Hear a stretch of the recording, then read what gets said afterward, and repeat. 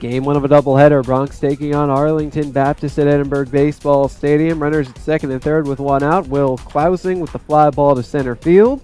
That's going to allow Alex Howe to come home and score the Broncs out to a 1 to nothing lead. Move ahead to the second inning. Two on, two out. There's Alex Howe again. Hits the liner into right field off the wall. Two run double as Shane Ammon and Chris Torres both come home to score. The Broncs now out to a 3 to nothing lead. Next batter, Derek Hagy. Boom. First career home run for Derek Hagy, a two-run shot, and the Broncs up 5 to nothing after two innings.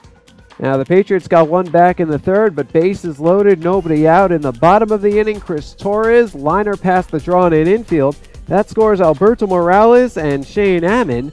Now the throw coming in gets away, goes into the camera well. That allows Riley Goulding to score.